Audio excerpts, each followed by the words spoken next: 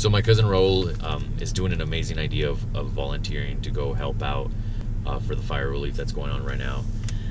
Uh, he's going to be driving his truck up to the Petaluma area and uh, just delivering supplies, water, food, blankets, anything that's needed up there, masks especially, um, anything that's needed to help people out.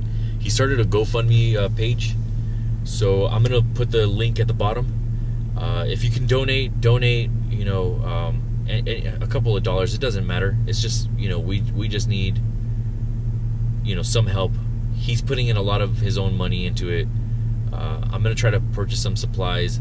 Not super rich, but I'm gonna try to purchase some supplies, and we're gonna head up there and, and take it and, and go and help out. It, it's gonna be, I think it'll be a great thing for us to do. So we will be recording video. So if you can help out, you know, and wish us luck and safety. So we'll be we'll be heading up there on Saturday.